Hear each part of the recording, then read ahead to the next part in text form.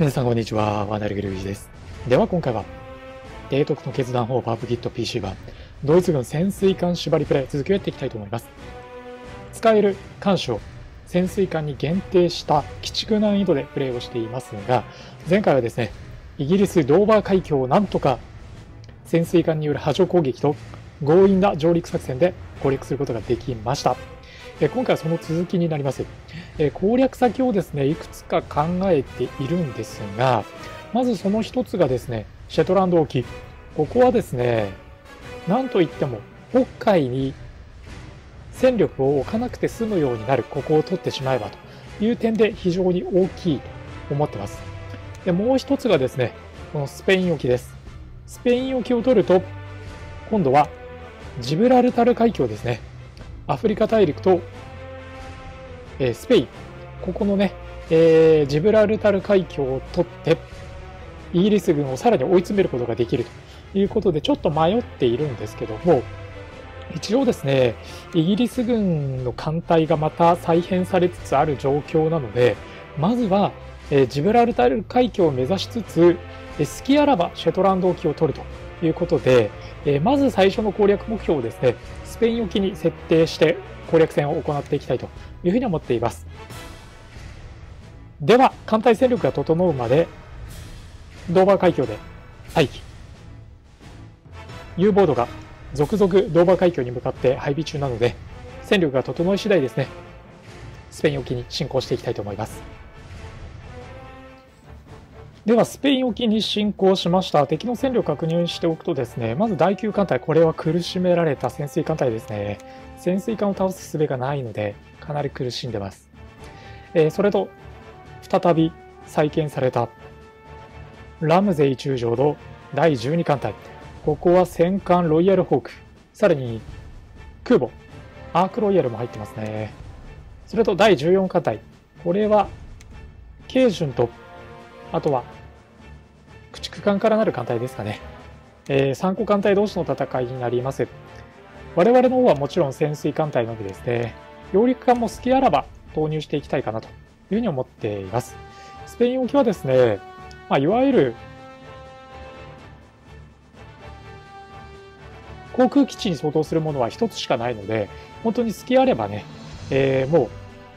う揚陸艦を送り込んで、ここを一気に制圧したいというふうに思っています。では、送り込んでいきましょう。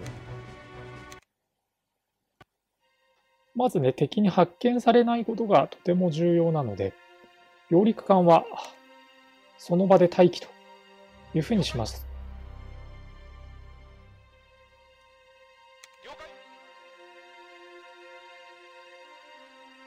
第1、第2艦隊は、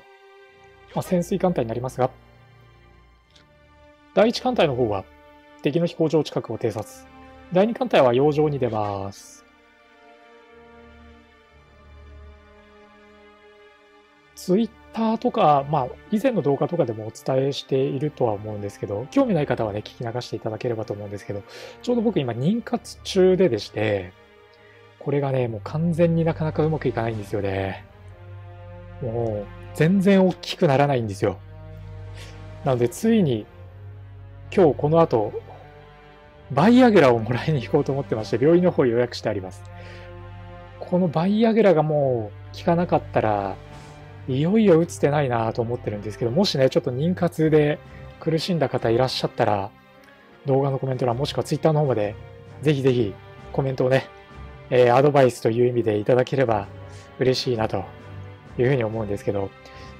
あの、僕は結構タイとか、まあ、あの、マカオとか海外風俗が好きで、よく遊びに行くんですね。そうするともう刺激が強すぎるせいか、あとは妊活だっていうプレッシャーなのか、本当にね、ピクリともしないんですよ。ちょっとこれはいかんぞと。しかも回を追うごとにですね、どんどんどんどん反応が悪くなってきてて、もうちょっとニッチもサッチもいかんぞということになってるんで、いよいよね、人生初のバイアグラを、ちょっとどんなもんだというのも含めて、えー、使用感はね、後日、ツイッターや、えー、実況動画の中でもお話したいと思いますので、興味ある方いらっしゃったらそちらもね、楽しみにしていただければというふうに思います。敵艦隊がちょっと見当たらないですね。さあ、敵の艦隊発見してます。やっぱり基地の近くにいましたね。まあそんな気はしてましたが。第1艦隊と第2艦隊合流させます。まずは第1艦隊の方から攻撃を仕掛けて、第2艦隊の到着までにできるだけ、えー、数をね、減らしていきたいと思います。で、以前もお話している通りですね、潜水艦は魚雷の数に限りがあり、かつですね、まあ足も遅いというのもあって、敵の爆雷、まあ、つまり潜水艦を攻撃する兵器に非常に弱いので、えー、注意が必要なんですけども、弾数が少ないので、できるだけね、敵に近づいて魚雷を確実に当てたいという思いもあるので、そこはね、バランスをうまく見て、えー、魚雷を発射していきましょう。では、まず魚雷発射します。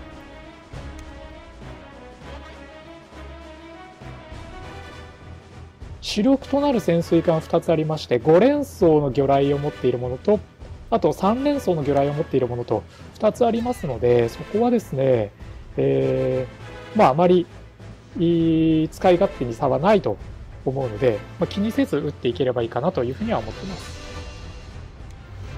潜水艦1隻を失ってます。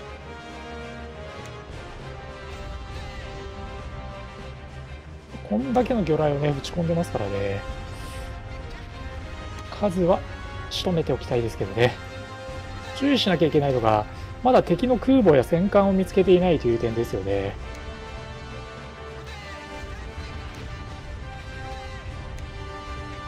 魚雷を打ち尽くしたものから撤退していきます。第2艦隊も急行させています。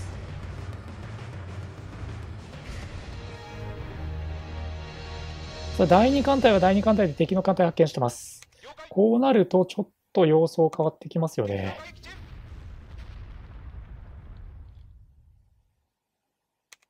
第2艦隊は第2艦隊で敵艦隊と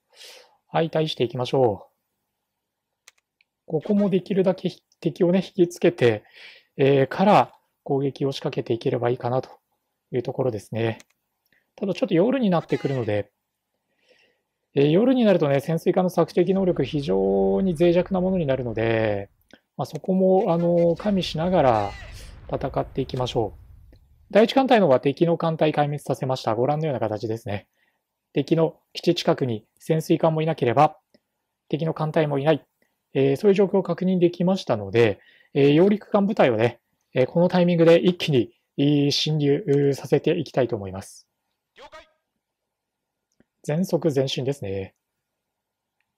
では、第2艦隊の方に移ります。第2艦隊の方はというと、まずは敵の前衛、駆逐艦。これをえー、できるだけね、サクッと削りたいなと。さあ、敵の空母も発見してますが、駆逐艦も周りにやっぱり護衛についてるので、駆逐艦を先に優先します。駆逐艦の攻撃を優先して、その中で、えー、大型艦のね、戦艦やあ空母、これにもね、攻撃が当たればいいかなというところですかね。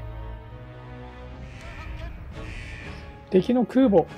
さらに出現してますので、これをね、撃破しつつ、戦艦もどっかにいるはずなので、その戦艦もね、仕留めていきたいので、戦艦の探索も行います。揚陸艦はこのまま敵基地に突撃です。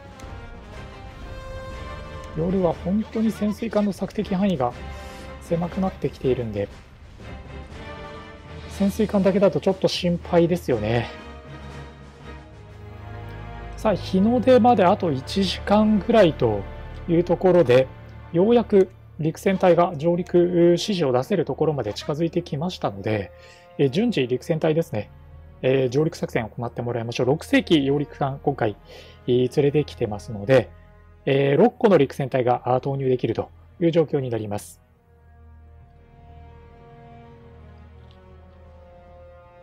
まずは2隻から陸戦隊出ましたので、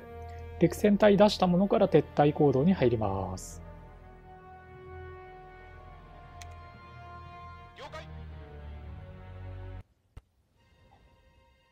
さあ、夜が明けてしまいましたね。敵の航空隊が出てくる前に、せめて陸戦隊は出し切りたいかな。もうちょっと早めのタイミングでえー、揚陸艦をね、えー、近づけていければよかったのかなという悔いがちょっとありますけど、それでもまだ敵の航空隊出てきていない段階なので、陸戦隊だけでも送り込んでもらいましょう。ちょっと団子になってしまってますが、なんとかここは強引に出し切ってもらおう。さあ、残り2隻からも陸戦隊出ました。あと1隻ですね。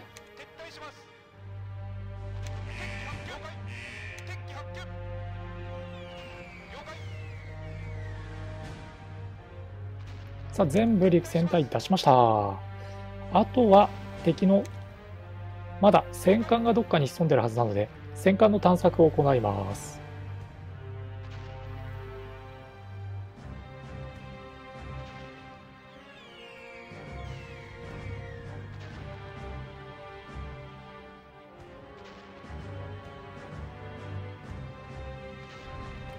敵基地の方は破壊完了してます。あとはうまく。